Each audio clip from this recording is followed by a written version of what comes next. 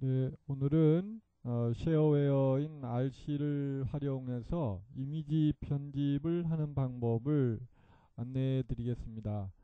어, 첫째, 에, RC는 쉐어웨어입니다. 쉐어웨어는 어, 프리웨어하고는 약간 차이가 있습니다.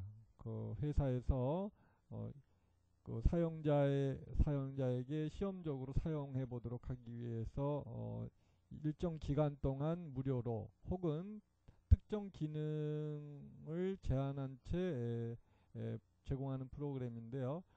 어, 포토샵으로 보통 어, 이미지를 편집하지만 예, 포토샵을 가령 PC방이라든지 친구 집에서라든지 이렇게 쉽게 이용할 수 없는 경우가 있습니다. 이럴 때는 어, 크기가 별로 크지 않은 이 RC를 어, 검색해서 다운받은 다음에 이 프로그램을 이용해서 몇 가지 기능을 할 수 있습니다.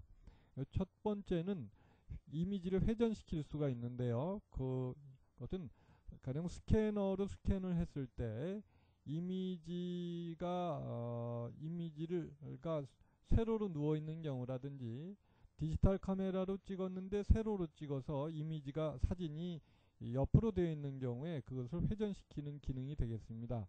두 번째는 어, 파일 포맷을 바꾸는 기능인데요.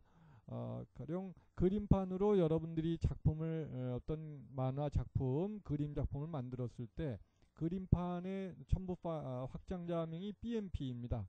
그런데 아시는 것처럼 인터넷상에서 BMP 파일은 바로 보이질 않습니다. 그래서 이걸 JPG나 GIF로 바꿔줘야 되는데 그 방법에 대해서 어, 또 안내해드리고 끝으로 이미지가 엄청나게 큰 경우 보통 디지털 고화질로 할 경우에 이미지가 엄청 큽니다. 잠깐 보시면 저희 반 학생들의 이미지입니다만은 너무 커서 컴퓨터의 첫 화면으로 쓰기도 어렵고 그렇습니다. 이 이미지를 크기를 줄이는 방법 어, 세 가지를 알아보도록 하겠습니다.